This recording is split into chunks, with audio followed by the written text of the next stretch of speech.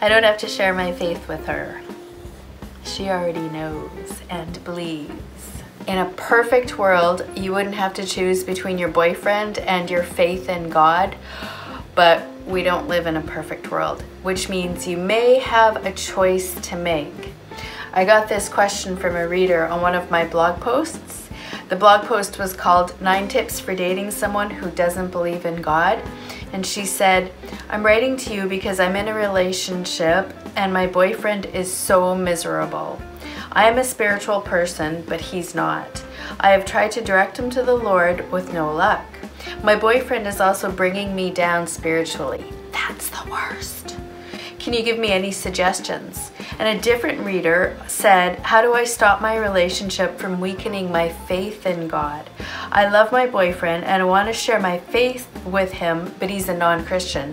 What do I do? This is really important. Your faith and your religion is different than your spiritual relationship with God.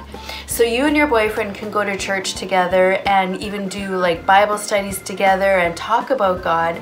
But if you're not aligned spiritually, then you're going to be on a totally different plane and it's not going to matter if you can talk about faith. Even if you are uh, going to the same church and religiously have the same beliefs does not mean that spiritually you're compatible. If you have any questions about that, ask me in the comments section below and I will try to explain it more. But right now, I just want to give you four tips on how to talk to you about faith with your boyfriend. Number one, be true to who God created you to be. He created you specifically, uniquely, and specially, and He wants you to blossom into who He created you to be. And you are doing that. Just by struggling with your faith and struggling with your relationship with your boyfriend, you are growing, you are blossoming, and you are moving forward, even though it may feel like you're stuck and confused. The more focused you are and aligned with yourself you are, the easier it'll be to talk about your faith with your boyfriend.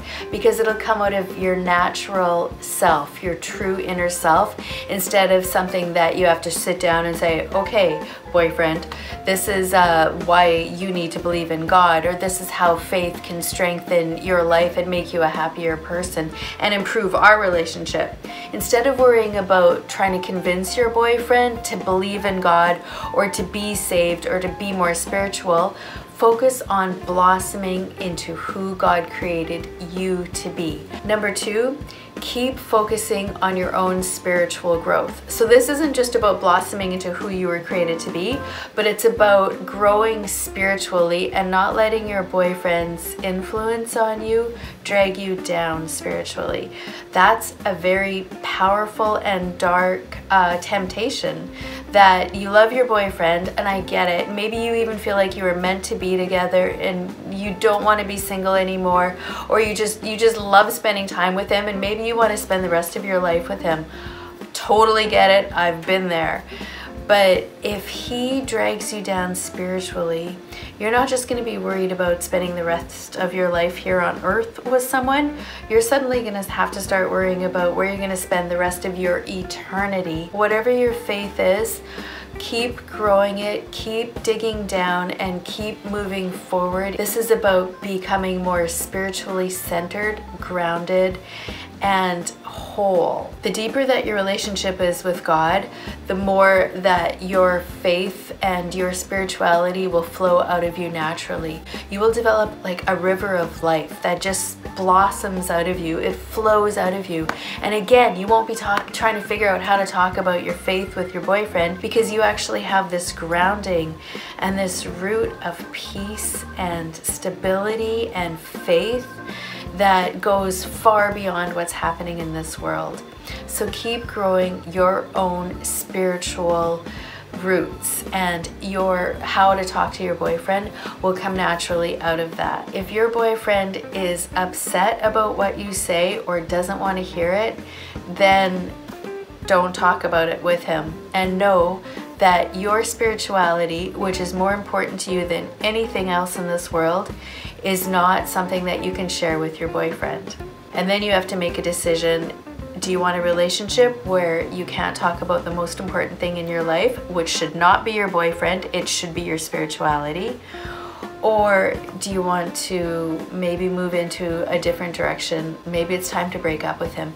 If you can't talk about with your faith with your boyfriend, if you can't be who you truly are, then you got to cut him loose because you don't want to cut your God loose. The third thing is learn how Jesus shared his faith with his followers. And you can learn this even if you're not Christian. Even if you're Jewish or Muslim, learn how Jesus Christ taught his disciples and how he shared his faith with the people around him.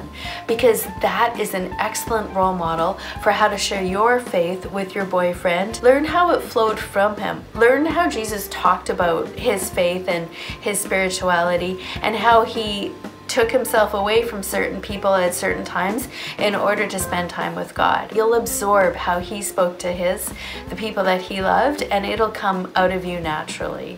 The fourth thing is allow the Holy Spirit to work through you.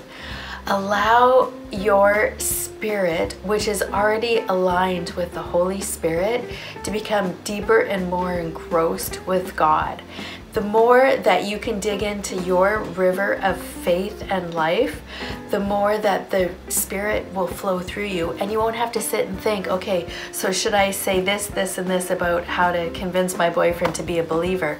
It's not about convincing your boyfriend to be a believer. It should never be about trying to convert him or trying to save him. It should always be about being present with the Holy Spirit and letting the Spirit work through you in order to touch your boyfriend's spirit and his heart. It's about taking a breath and being with this Spirit when you are with your boyfriend and allowing the Spirit to work through you. And the only way to do that is to be grounded in the Holy Spirit. One way I stay grounded is by memorizing a life verse. My life verse is I am like a tree planted along the riverbank with roots reaching deep into the water. I do not fear when the heat comes or worry in long periods of drought. My leaves stay green and never fail to produce fruit. That life verse fills me with the Holy Spirit. That life verse reminds me of who I am and where I came from.